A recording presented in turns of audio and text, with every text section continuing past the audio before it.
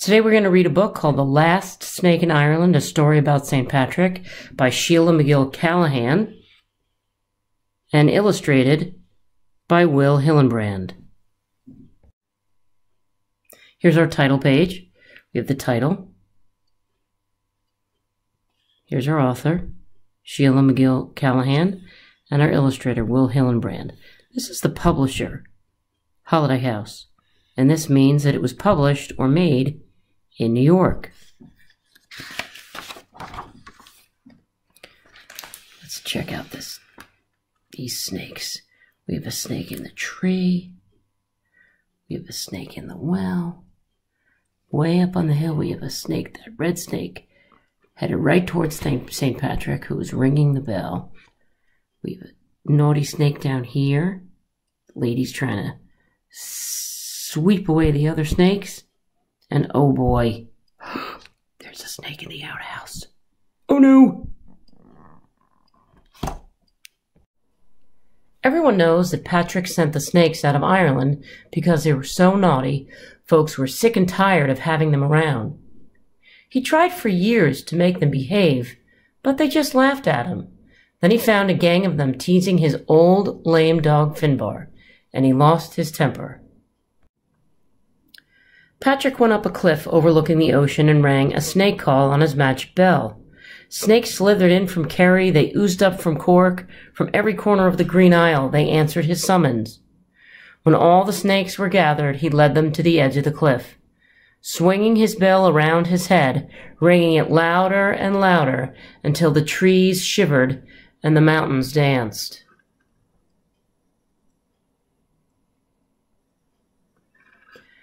One by one, the snakes crawled down into the sea. Some became eels, some became sea serpents, and some swam all the way to the land we call America to move in with their cousins. Patrick was very pleased with himself and was thinking of a hot toasty bit and a seat by the fire when he heard a hissy kind of laugh. Twined around a bush in a grassy hollow was the biggest, oldest, sneakiest snake in all of Ireland. Why aren't you off with the others? asked Patrick. I didn't want to go. The ocean is a nasty, cold sort of place for an old gentleman like me, so I just stuffed some leaves in my ears so I couldn't hear your bell. I like it here at home. Patrick knew it would do no good to ring his bell again. He'd used up all its snake magic. Won't you be lonely? he asked. The snake gave Patrick a scornful hiss and slid away. When Patrick went out, the snake was waiting. If he walked in the forest, a snake leaned down, the snake leaned down from a branch to tap him on the head. When he talked with his friends in the evening, the snake looked in at the window. If he sat in the doorway with a mug of buttermilk, the snake oozed up to take a swig. Patrick even found him under the quilt on his bed. Look at all those naughty things the snake does.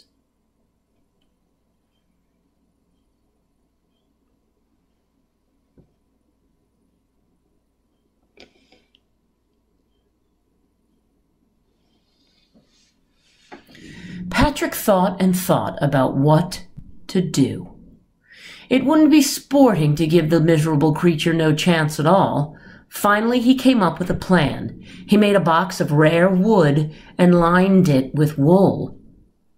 On the lid, he carved the snake's picture, painted as red as the red hound of Ulster. He fitted each side of the box with an iron bolt that would slide home when the lid closed. Then he waited for summer to end. On the first chilly day of autumn, Patrick made his way to the snake den by Lough Finn. The snake was not happy to see him. He really didn't like Patrick very much. He showed his fangs. What do you want? Don't you know it's time for me to go to sleep until spring? he hissed. I've been thinking about that, said Patrick, and I've worried about you all alone in that cold hole in the snow falling down and the ice filling in your front and back doors, just to show there are no hard feelings. I've made you a fine, warm house where you can lie snug all winter. You have to think about tomorrow. Got my own house, the snake said grumpily. He was very sleepy. As far as I'm concerned, tomorrow's April 1st, because that's when I plan to wake up. There's no call for you to be so touchy. I'll just leave your fine new house here by the edge of the loch, in case you want to look it over. If there was one thing Patrick was sure of, it was that snakes are very curious creatures. He left the box on the shore and hid behind a bush. It wasn't long before the snake's head popped out of his hole. He looked all around. When he was sure Patrick was nowhere around, he went to inspect the box. My, my, he muttered. For sure that's the handsomest box ever made in Ireland. He wanted it more than anything he had ever seen, but he didn't trust the four iron bolts. Maybe, he thought, I could pull the box deep into my hole so no one can lock it while I'm inside. First, I better make sure it fits. He crawled in onto the fine wool cushion, and he fitted exactly. He was so comfortable that he would have gone to sleep then and there if Patrick hadn't popped up from behind the bush. How'd you like your new house? We're, we're, I'm done entirely, thought the snake. Quick as a wink, he swelled himself up until he was spilling over the sides. See, it's much too small, but it was kindly thought, and I thank you. Now, now, crooned Patrick, who was standing over the box. I'm sure that if you pull yourself in a little, you'll find it a fine fit. Like lightning, he moved to slam the lid, but the snake was even faster. He erupted in a fiery streak and made for the hills, with Patrick rushing after, carrying the box, and roaring at the top of his lungs. The snake slithered up one side and down the other of the Blue Stack Mountains. With the strength of his anger upon him, Patrick pushed the mountain open, forming the long glen of hunting, which you can see to this day and lay in wait on the other side. The snake passed him too quickly to be caught and plunged into Lough Erne. With Patrick swimming behind, they flashed through the glens of Antrim and tip tap tipped across the giant's causeway, where at last they were halted by the sea. I've got you now, my sly one, Patrick crooned as he lowered the box, hoping the snake would jump in.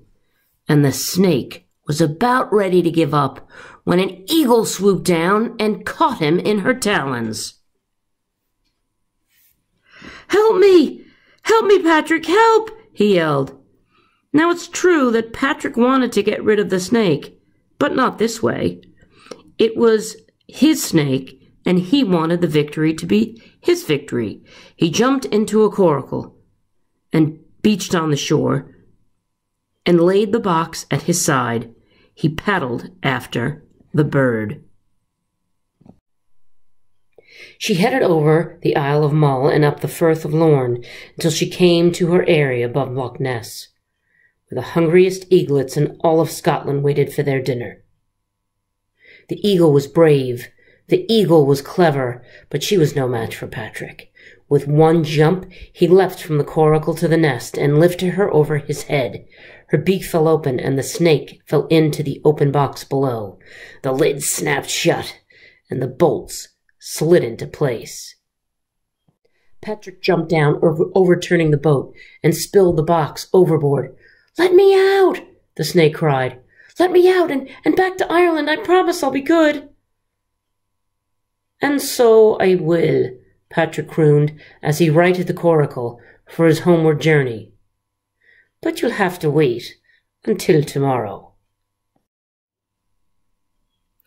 Years later, when he was much closer to being a real saint, Patrick started to worry about how the snake was doing. He made the journey to the banks of Loch Ness. I'm here! he shouted at the top of his lungs. Tomorrow has finally come. There was a troubling of the water as the surface was broken by huge red coils. Patrick jumped back in alarm as a face the size of a house loomed above him, its forked tongue flickering in and out. It was his old enemy, the snake. So, he hissed, it's tomorrow, is it? You took your time. Patrick plucked up his courage.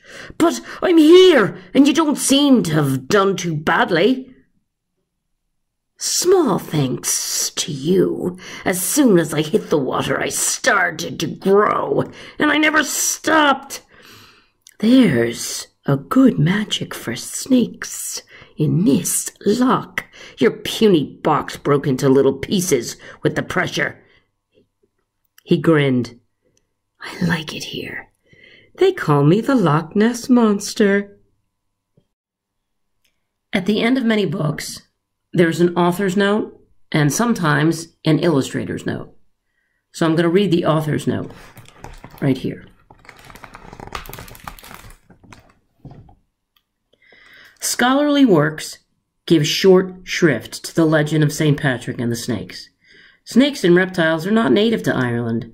The poor creatures didn't make it across the land bridge from England before the sea rose and divided the two islands at the end of the last ice age.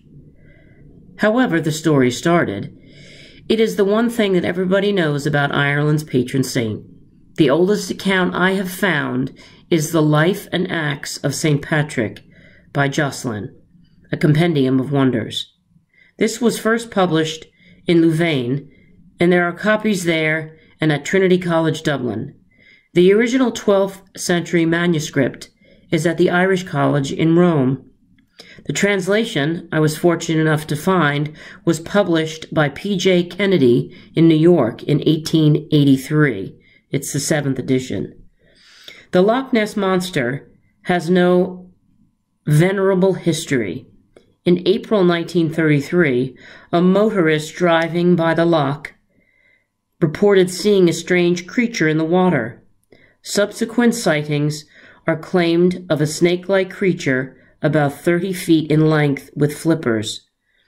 Investigations have never proved or disproved the creature's existence, but the passage of more than 50 years has been sufficient to build a substantial legend. A storyteller's liberty and combine I took a storyteller's liberty and combined the tales. Both lough, both lough and loch mean lake, but the first is used in Ireland and the latter in Scotland. Illustrator's note. My last name, Hillenbrand, will never sound Irish, not even on St. Patrick's Day. However, Irish blood has flowed down to me from my mother's side of the family. My great great grandparents were both born in Ireland. James Miller emigrated when he was only 13 years old in 1850. Eliza Shorten came from County Cork, near the twin villages of Enniskeane and Ballineen. James and Eliza were married in Cincinnati in 1857. Together they had four children Elizabeth, William, George, and Nellie.